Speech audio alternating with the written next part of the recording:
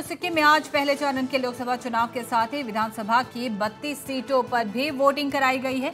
छिटपुट हिंसक घटनाओं को छोड़ मतदान लगभग शांतिपूर्ण रहा। हालाँकि वोटिंग में हुए विलंब की वजह से अभी भी गैंगटॉक समेत प्रदेश के कुछ मतदान केंद्रों में लोग कतारों में खड़े हैं। इस बीच इंडो नेपाल बॉर्डर के आखिरी गाँव में भी वोटिंग की तस्वीरें सामने आई हैं। यह गाँव मानेबोंग देनताम निर्वाचन क्षेत्र के तहत आता है। यहाँ भी मतदाताओं ने बढ़ चढ़कर वोटिंग में हिस्सा लिया।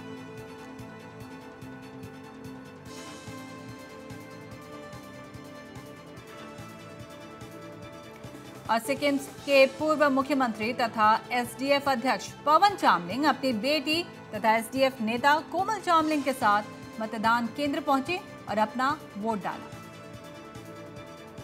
SDF government, SDF party is going to uh, form government.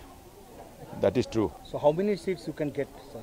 Uh, Any more than two two third majority, उससे ज़्यादा होगा पहला रीजन है मैं सुबह आना चाहता था लेकिन यहाँ पर बहुत वोटर्स हमारे जनता लोग थे यहाँ पर इसलिए मैं सुबह नहीं आया क्योंकि अगर मैं सुबह आता तो फिर अम, मैं कैंडिडेट भी हूँ इसलिए मुझे सबसे पहले वोटिंग करने का मौका मिलता तो मुझे अच्छा नहीं लगता क्योंकि इतना लोग जो खड़े हैं तो फिर मैं जल्दी आकर अंदर जाके वोट डालना।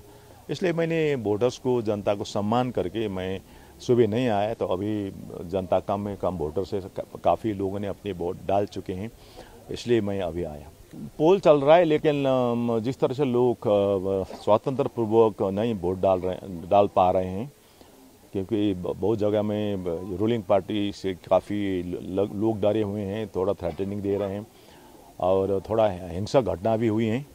जैसे ज्ञानटोक में, आरीथांग में हुई हैं और मल्ली में हुई हैं और ज्ञानटोक में हुई है।